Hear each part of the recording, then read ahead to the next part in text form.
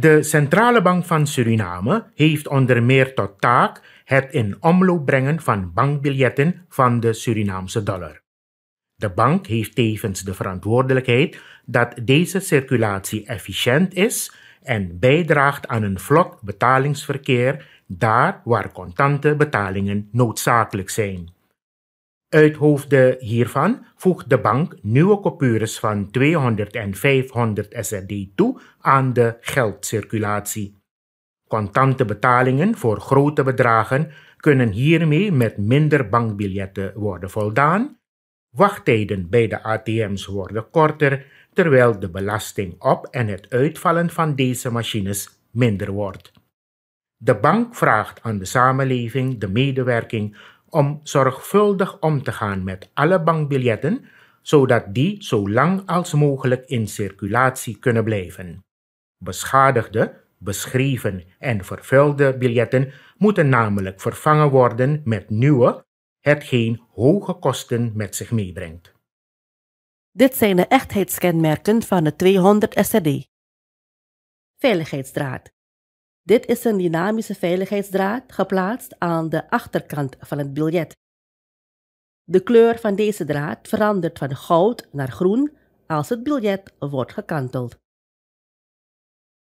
Verder is de waarde van het biljet in een doorzichtig patroon waar te nemen. Watermerk. Een afbeelding van het gebouw van de centrale bank is op het papier zichtbaar wanneer het biljet tegen het licht gehouden wordt. Diepdruk.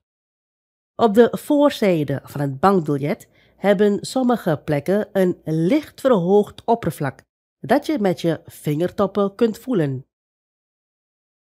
Latente afbeelding. Een latente afbeelding SR-dollarteken wordt zichtbaar als het bankbiljet wordt gekanteld en vanuit de juiste hoek wordt bekeken. De kleurveranderingstreep. Dit is een glanzende verticale streep aan de rechterkant aan de voorzijde van het bankbiljet. Wanneer het bankbiljet wordt gekanteld, toont de streep een kleurveranderend effect van goud naar groen, een omslageffect van de 200 naar een ster en de zaden van een possentrieboom. Transparant venster. Een transparant lasercut venster met een nauwkeurig gedefinieerde afbeelding van het zaad van de possentrieboom. Het doorzichtig register. Corresponderende patronen aan beide kanten van het biljet sluiten precies op elkaar aan en vormen samen het logo van de centrale bank. Dit wordt pas zichtbaar als het biljet tegen het licht gehouden wordt. Dit zijn dan de echtheidskenmerken van de 200 SRD. Dit zijn de echtheidskenmerken van de 500 SRD. Veiligheidsdraad. Dit is een dynamische veiligheidsdraad geplaatst aan de achterkant van het biljet. De kleur van deze draad verandert van paarsrood naar groen als het biljet wordt gekanteld. Verder is de waarde van het biljet in een doorzichtig patroon waar te nemen. Watermerk. Een afbeelding van het gebouw van de centrale bank is op het papier zichtbaar wanneer het biljet tegen het licht gehouden wordt. Diepdruk. Op de voorzijde van het bankbiljet hebben sommige plekken een licht verhoogd oppervlak dat je met je vingertoppen kunt voelen.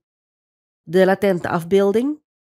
Een latente afbeelding SR-dollarteken wordt zichtbaar als het bankbiljet wordt gekanteld en vanuit de juiste hoek wordt bekeken. De Color Change Patch. Op de voorzijde van het bankbiljet is er een Color Change Patch. Bij doorschijnend licht verandert de patch van kleur. Van bovenaf gezien is hij goudkleurig en laat hij verschillende effecten zien, zoals het omslageffect 500 naar een ster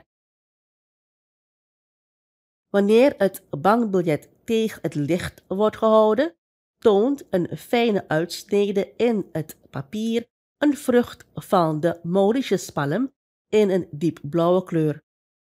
Doorzichtig register. Corresponderende patronen aan beide kanten van het biljet sluiten precies op elkaar aan en vormen samen het logo van de centrale bank. Dit wordt pas zichtbaar als het biljet tegen het licht gehouden wordt. Dit zijn dan de echtheidskenmerken van de 500 SRD.